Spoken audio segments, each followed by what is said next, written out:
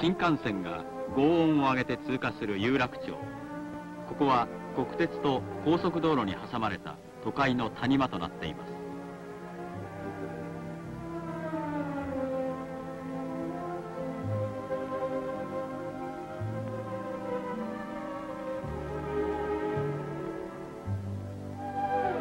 近くに皇居銀座丸の内を控えた有楽町名物の寿司屋横丁。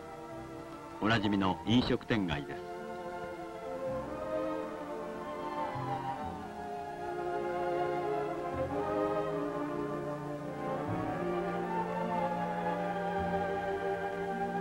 しかしここでも新しい市街地再開発が始まっています。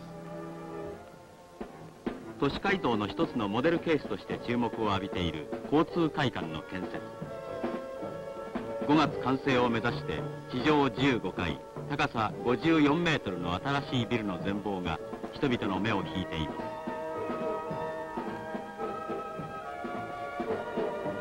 そしてこの交通会館の建設を機会に付近の密集地帯でも新しい総合ビルの建設が計画され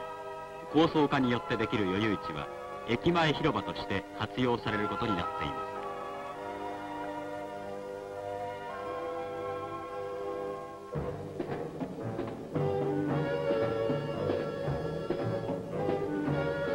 数百軒の飲食店が密集していたこの地区もこの改造事業が進められると2つの大きなモダンなビルと広場に生まれ変わることになっています。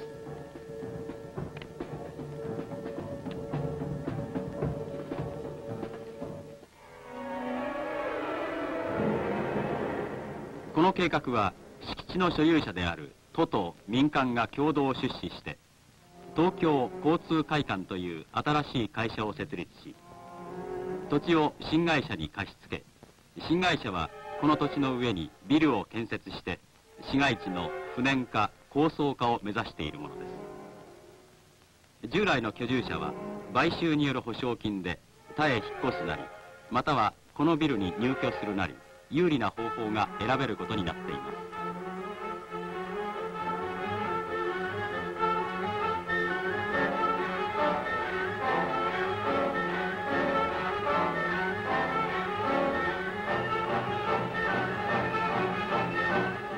屋上では回転展望台が工事の最終段階に入っています。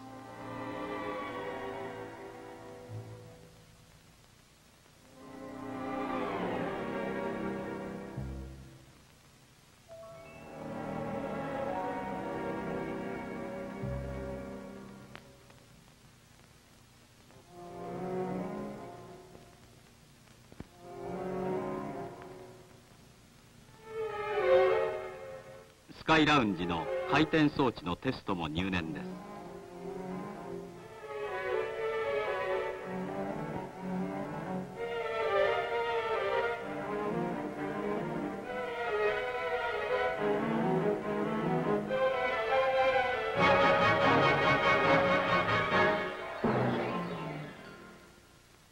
このスカイラウンジからの眺望の素晴らしさは新しい東京の名所となるに違いありません。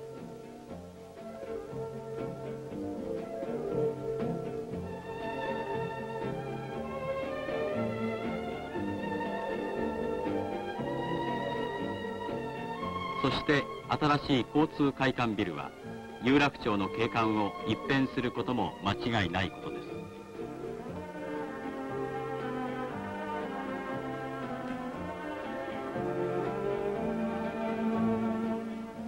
地下には駐車場ショッピングフロア1階はショールーム3階は屋上庭園。まさに新しい都会のオアシスです。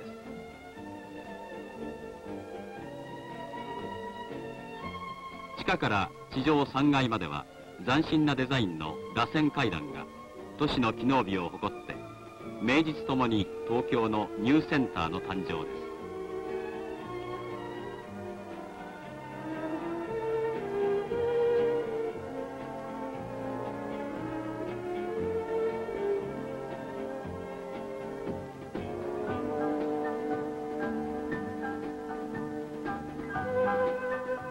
有楽町新橋を中心とする東京の都心は大きく変わろうとしています。